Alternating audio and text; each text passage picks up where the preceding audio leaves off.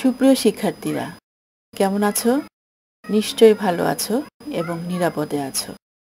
তোমাদেরকে আবারও পৌরনীতি ও নাগরিকতা ক্লাসে স্বাগত ও শুভেচ্ছা জানাচ্ছি। আশা করি তোমরা সবাই আমার সাথে আছো। শিক্ষার্থীরা, তোমাদের পাঠ্য বইয়ের ষষ্ঠ অধ্যায়, বাংলাদেশের সরকার ব্যবস্থা নিয়ে গত দুটি ক্লাসে আমরা আলোচনা করেছিলাম। গত ক্লাসে আমরা প্রধানমন্ত্রী ও মন্ত্রিপরিষদের ক্ষমতা ও কাজ সম্পর্কে আলোচনা করেছি। আশা করি সেই সম্পর্কে তোমরা ভালোভাবে জেনেছ। আজ আমরা আলোচনা করব বাংলাদেশের প্রশাসনিক কাঠামো নিয়ে। শিক্ষার্থীরা, তোমরা জানো, তারপরও বলছি, বাংলাদেশের সরকার ব্যবস্থা তিনটি বিভাগের মাধ্যমে পরিচালিত হয়, শাসন, আইন ও বিচার বিভাগ। শাসন বিভাগের কাজ পরিচালনা করেন প্রধানমন্ত্রী ও তার মন্ত্রিপরিষদ। মন্ত্রিপরিষদ নির্দিষ্ট প্রশাসনিক কাঠামোর মাধ্যমে তার কাজ পরিচালনা করেন। শিক্ষার্থীরা, এবার আমরা আমাদের মূল আলোচনায় চলে যাই বাংলাদেশের প্রশাসনিক কাঠামো। আজকের আলোচনার মাধ্যমে তোমরা বাংলাদেশ সরকারের প্রশাসনিক কাঠামো সম্পর্কে জানতে পারবে। শিক্ষার্থীরা, বাংলাদেশের প্রশাসনিক কাঠামোর একটি ছক আমরা দেখতে পাচ্ছি। ছকে লক্ষ্য করা যাচ্ছে যে, বাংলাদেশের প্রশাসনিক কাঠামো স্তর ভিত্তিক এর দুটি প্রধান স্তর আছে। প্রথম স্তরটি হল কেন্দ্রীয় প্রশাসন, বাংলাদেশের রাষ্ট্রীয় প্রশাসনের দ্বিতীয় স্তরটি হল মাঠ প্রশাসন। মাঠ প্রশাসনের প্রথম ধাপ হল বিভাগীয় প্রশাসন। দ্বিতীয় ধাপে রয়েছে জেলা প্রশাসন। জেলার পর আছে উপজেলা প্রশাসন। উপজেলা প্রশাসন একেবারে তৃণমূল পর্যায় পর্যন্ত বিস্তৃত। শিক্ষার্থীরা, রাষ্ট্রের শাসন কার্য পরিচালনার দায়িত্ব হচ্ছে প্রশাসনের। রাষ্ট্রের ভিতরে শান্তি শৃঙ্খলা রক্ষা ও রাষ্ট্রের সমৃদ্ধির লক্ষ্যে সুষ্ঠু প্রশাসনের কোনো বিকল্প নেই। প্রশাসনকে তাই বলা হয় রাষ্ট্রের হৃৎপিণ্ড। প্রশাসন একটি সুনির্দিষ্ট কাঠামোর ভিত্তিতে পরিচালিত হয়। দেশের সব ধরনের প্রশাসনিক নীতি ও সিদ্ধান্ত কেন্দ্রীয় পর্যায়ে গ্রহণ করা হয়। আর কেন্দ্রীয় পর্যায়ে গৃহীত নীতি ও সিদ্ধান্ত মাঠ প্রশাসনের মাধ্যমে সারা দেশে বাস্তবায়িত হয়। মাঠ প্রশাসন মূলত কেন্দ্রের নিয়ন্ত্রণে পরিচালিত হয়ে থাকে। এছাড়া প্রতি মন্ত্রণালয়ের সাথে সংযুক্ত আছে বিভিন্ন বিভাগ বা অধিদপ্তর। অধিদপ্তরের বা দপ্তরের প্রধান হলেন মহাপরিচালক, পরিচালক। মন্ত্রণালয়ের অধীনে আরও আছে বিভিন্ন স্বায়ত্তশাসিত বা আধা স্বায়ত্তশাসিত সংস্থা, বোর্ড ও কর্পোরেশন। এসব দপ্তর ও অফিসের কোনো কোনোটির কার্যকলাপ আবার বিভাগ, জেলা ও উপজেলা পর্যায় পর্যন্ত বিস্তৃত। সুপ্রিয় শিক্ষার্থীরা, এবার আমরা আলোচনা করব কেন্দ্রীয় প্রশাসন নিয়ে। সচিবালয়, কেন্দ্রীয় প্রশাসনের কেন্দ্রবিন্দু। দেশের সকল প্রশাসনিক সিদ্ধান্ত এখানে গৃহীত হয়। সচিবালয় কয়েকটি মন্ত্রণালয় নিয়ে গঠিত। সুপ্রিয় শিক্ষার্থীরা, তোমরা বাংলাদেশের সচিবালয়ের প্রশাসনিক কাঠামোর একটি ছক দেখতে পাচ্ছ। এই কাঠামোর সবার উপরের স্তরে আছেন মন্ত্রী। তিনি নীতি নির্ধারণ করেন। মন্ত্রীকে সহযোগিতা করেন একজন সচিব। এর পরের অবস্থানে আছেন অতিরিক্ত সচিব তারপরের অবস্থানে যুগ্ম সচিব, এরপর আছেন উপসচিব। তাকে কাজে সহায়তার জন্য আছেন সিনিয়র সহকারী সচিব ও সহকারী সচিব এবং কর্মকর্তা ও কর্মচারী। এক একটি মন্ত্রণালয় এক একজন মন্ত্রীর অধীনে ন্যস্ত। প্রতিটি মন্ত্রণালয়ের একজন সচিব আছেন তিনি মন্ত্রণালয়ের প্রশাসনিক প্রধান এবং মন্ত্রীর পরামর্শদাতা।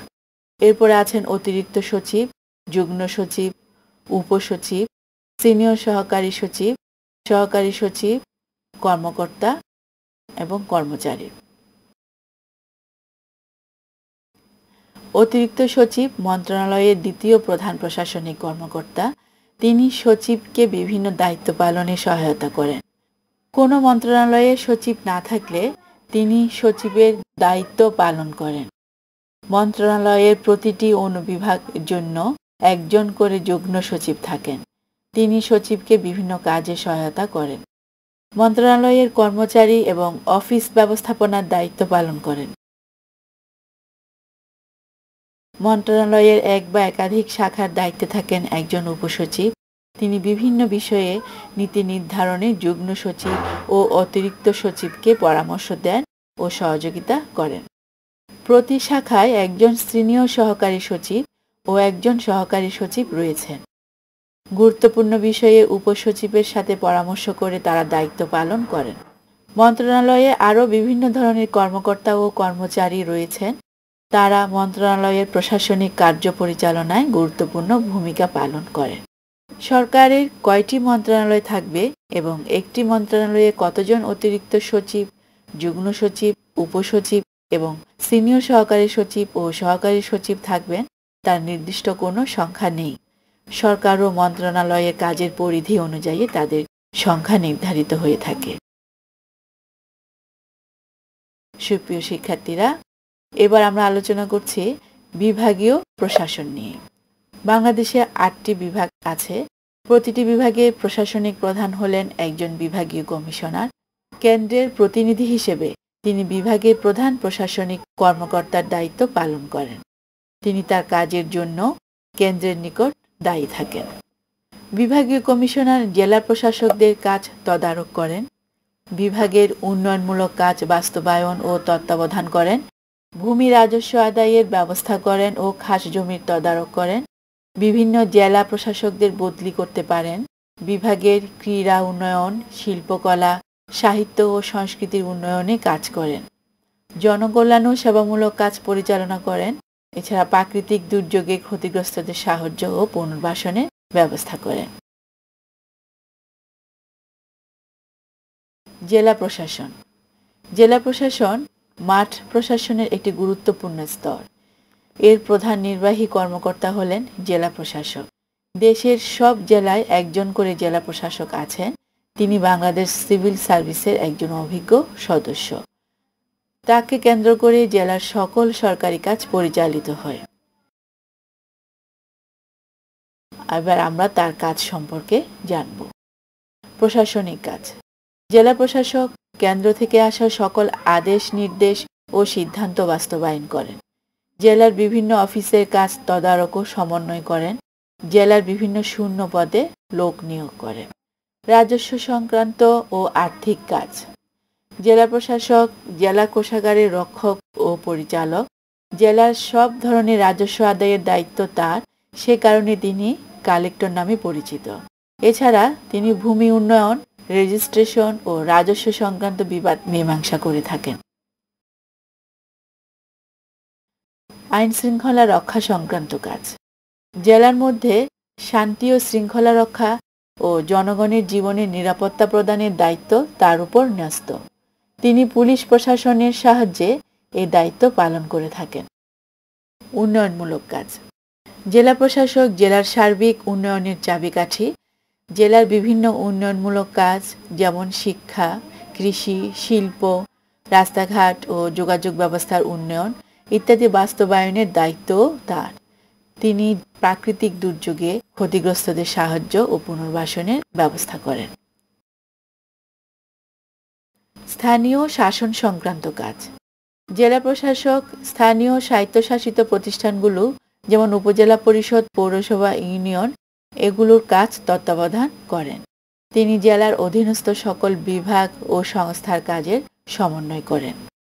সুপ্রিয় শিক্ষার্থীরা জেলা প্রশাসনের সর্বোচ্চ ব্যক্তি হিসাবে জেলা প্রশাসক আরও অনেক দায়িত্ব পালন করেন। তিনি জেলার সংবাদপত্র ও প্রকাশনা বিভাগকে নিয়ন্ত্রণ করেন। বিভিন্ন জিনিসের লাইসেন্স দেন। জেলার বিভিন্ন বিষয়ের তথ্য সংগ্রহ করেন এবং সেই সম্পর্কে সরকারকে অবহিত করেন। এবার আলোচনা করছি উপজেলা প্রশাসন। বাংলাদেশে মোট চারশো নব্বইটি প্রশাসনিক উপজেলা আছে। উপজেলার প্রধান প্রশাসক হলেন উপজেলা নির্বাহী কর্মকর্তা। উপজেলার প্রশাসনিক কাজ তদারক করা তার অন্যতম দায়িত্ব। এছাড়া তিনি উপজেলার সকল উন্নয়ন কাজ তদারক করেন ও সরকারি অর্থের ব্যয় ব্যয় তত্ত্বাবধান করেন। তিনি উপজেলা উন্নয়ন কমিটির প্রধান। প্রাকৃতিক দুর্যোগে ক্ষতিগ্রস্তদের সাহায্য পুনর্বাসনের ব্যবস্থা করেন তিনি। এছাড়া দুর্যোগ প্রতিরোধ প্রতিকারেরও ব্যবস্থা করেন। উপজেলা নির্বাহী কর্মকর্তা, উপজেলা কোষাগারেরও রক্ষক তিনি সময়ে সরকার কর্তৃক প্রদত্ত অন্যান্য দায়িত্ব সম্পাদন করে থাকেন। সুপ্রিয় শিক্ষার্থীরা, আজকের আলোচনার মাধ্যমে নিশ্চয় তোমরা আজকের পাঠটি ভালোভাবে অবগত হয়েছ। তোমাদের সুবিধার্থে আজকের পাঠের সার সংক্ষেপটি আমি আবার বলছি। প্রশাসনিক কাঠামো স্তরভিত্তিক দুটি প্রধান স্তর, কেন্দ্রীয় প্রশাসন এবং মাঠ প্রশাসন। সচিবালয় ও এর অধীনস্থ বিভিন্ন স্বায়ত্তশাসিত, আধা স্বায়ত্তশাসিত সংস্থা, বোর্ড ও কর্পোরেশন নিয়ে কেন্দ্রীয় প্রশাসন গঠিত। মাঠ প্রশাসন গঠিত হয় বিভাগ, জেলা ও উপজেলা প্রশাসন নিয়ে। সব ধরনের প্রশাসনিক নীতি ও সিদ্ধান্ত কেন্দ্রীয় পর্যায়ে গ্রহণ করা হয়। মাঠ প্রশাসনের মাধ্যমে সারা দেশে বাস্তবায়িত হয়। সচিবালয় কেন্দ্রীয় প্রশাসনের কেন্দ্রবিন্দু দেশের সকল প্রশাসনিক সিদ্ধান্ত সচিবালয়ে গৃহীত হয়। প্রতিটি মন্ত্রণালয়ে একজন সচিব আছেন। সচিব, মন্ত্রণালয়ের প্রশাসনিক প্রধান এবং মন্ত্রীর পরামর্শদাতা। এছাড়াও মন্ত্রণালয়ে অতিরিক্ত সচিব, যুগ্ম সচিব, উপসচিব, সিনিয়র সহকারী সচিব সহকারী সচিব, কর্মকর্তা ও কর্মচারী রয়েছেন। মাছ প্রশাসনে বিভাগীয় কমিশনার, জেলা প্রশাসক ও উপজেলা প্রশাসক রয়েছেন। প্রশাসন হল বাংলাদেশ সরকারের হৃৎপিণ্ড। সুপ্রিয় শিক্ষার্থীরা, আজকের পাঠের আলোকে তোমাদের জন্য ছোট্ট একটি বাড়ির কাজ। আশা করি ছকটি তোমরা বাড়িতে অনুশীলন করবে। শিক্ষার্থীরা, এতক্ষণ আমরা যতটুকু বিষয় আলোচনা করলাম, আশা করি তোমরা সবগুলো বিষয়ে ভালোভাবে জেনেছ এবং বুঝেছ। পরবর্তী ক্লাসে এই অধ্যায়ের বাকি অংশটুকু নিয়ে আবার তোমাদের সাথে নিয়ে ফিরবো ইনশাল্লাহ ততক্ষণ পর্যন্ত বিদায়, সবাই ভালো থাকবে, সুস্থ থাকবে। সবাইকে ধন্যবাদ।